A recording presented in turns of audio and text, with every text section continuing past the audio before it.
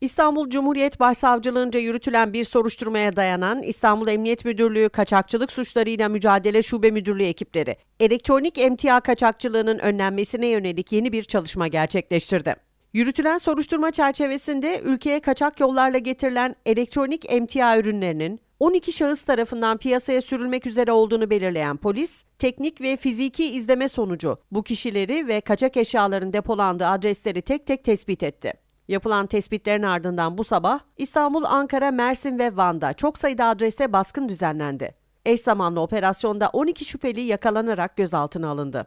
Adreslerde yapılan aramalarda ise piyasa değeri 40 milyon lirayı bulan gümrük kaçağı, 13.040 kulaklık, 624 saç şekillendirme seti, 671 akıllı kol saati, 780 şarj başlığı, 475 su ısıtıcısı, 16 akıllı cep telefonu ve 64 mouse ele geçirildi.